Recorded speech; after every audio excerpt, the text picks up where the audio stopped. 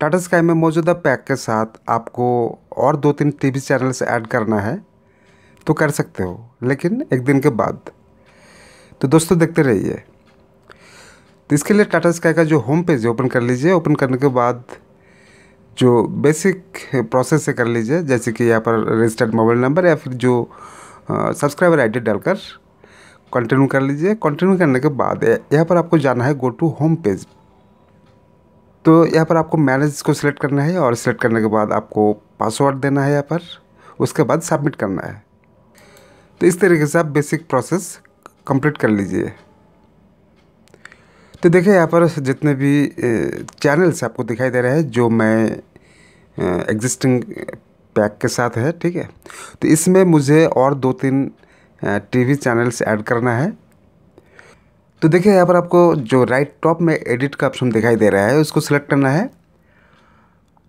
और उसको सिलेक्ट करने के बाद आपको यहाँ पर अपना अकाउंट बैलेंस ड्यू डेट उसके बाद जो पैक का जो प्राइस है दिखाई देगा, और साथ ही साथ जो भी चैनल्स मैं लिया था पैक के साथ, सभी दिखाई देगा।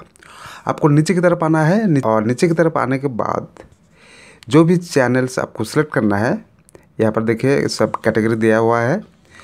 तो मुझे देखिए यहाँ पर जो कार्टून में एक चैनल सेलेक्ट करना है Cartoon Network H D plus और इसमें से देखिए और एक न्यूज़ का चैनल लेना है। तो मुझे दो तीन चैनल इसमें ऐड करना है। तो इस तरीके से आप सिलेक्ट करके ऐड कर लीजिए, ठीक है? तो इस तरीके से आपको ऐड करना होगा टाटा स्काई में। और इससे पहले मैं डिलीट कैसे करना है चैनल को, वो भी बताया था, आप उस वीडियो को देख सकते हो। और इस वीडियो को लाइक ज़रूर कीजिएगा और चैनल को सब्सक्राइब नहीं किया तो ज़रूर कर लीजिएगा।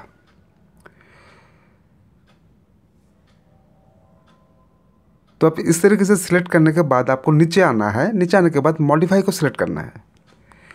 और मॉडिफाई को सिलेक्ट करने के बाद आपको नीचे आ जाना है, देखिए। नीचे आते ही देखिए, जो चैनल आप सेलेक्ट किए थे, वो चैनल आपको दिखाई देगा। और आपको कंफर्म ऑप्शन को सिलेक्ट करना है यहाँ पर। और कंफर्म को सिलेक्ट करते ही देखिए प्रोसेसिंग चालू हो जाएगा। और इस तरीके से आपका जो पैक है अपडेट हो जाएगा। आप स्टेटस का अगर आप सेलेक्ट कर लेते हो तो जो देखिए, यहाँ पर आपको पैक्स अपडेटेड बोल के आपको दिखाई देगा। तो इस तरीके से आप अपना जो चैनल ऐड कर सकते हो टाटा स्काई में। तो दोस्तों, ये वीडियो देखने के लिए आप सभी का धन्यवाद।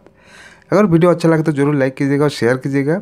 और चैनल को सब्सक्राइब नहीं किया तो ज़रूर कर लीजिएगा। आपका दिन शुभ रहे। जय हिंद।